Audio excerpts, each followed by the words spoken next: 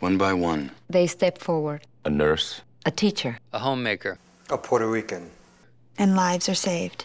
But the problem is enormous.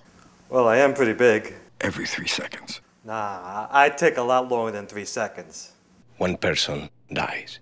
Another three seconds. One more.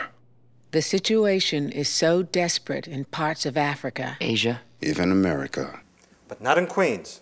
That aid groups, just as they did for the tsunami, are uniting as one. One. acting as one. One. We can beat extreme poverty, starvation, AIDS. Now, one and one is two, but one and one could be three if two people get together and have a baby.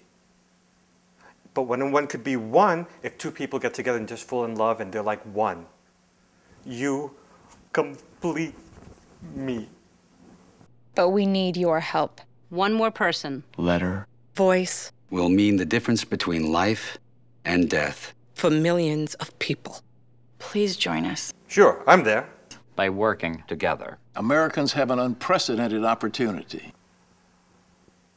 Uh, we can make history. History. We can start to make poverty history. One. By one. By one. Uno. By one.